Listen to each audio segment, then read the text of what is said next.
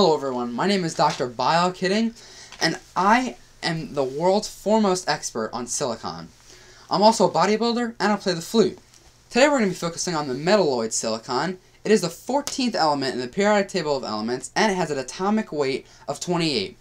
Silicon is a crystalline structure. It is found in rocks, sand, and soil. We're, we use it we see it every day and we don't even realize it. Silicon is the second most common element on the earth after oxygen.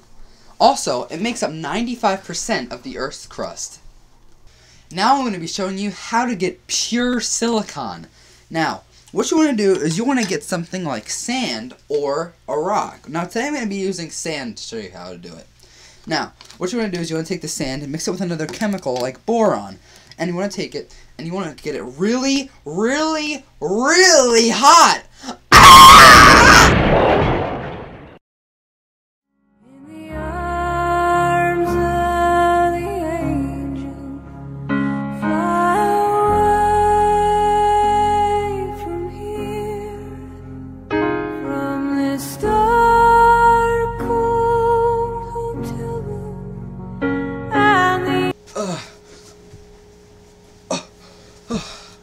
Think I'm okay.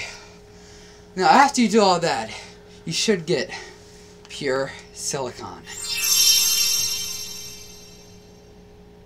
Now that you know how to make silicon, you might be asking, where is it used? Well, I'm glad you asked. Today it's used in concrete, makeup, solar panels, lasers, glue, and the most impact that it's had on this earth is in computers and cell phones. Now, Today, engineers have harnessed the semiconductor nature of silicon to manufacture computer chips. Silicon is necessary to computer function because semiconductors have an electrical conductivity between an insulator and a metal conductor. A single computer chip can contain millions of transistors that process billions of bits of information each second. Since silicon is so important, did you know that in California there's a region made up of cities called Silicon Valley? Wait, that's the wrong one. Ah, there we go.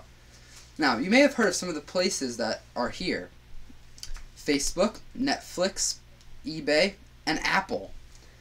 Now that you've learned a little more about this amazing element, I hope that you have a little more appreciation for number 14, silicon. I'll see you next time.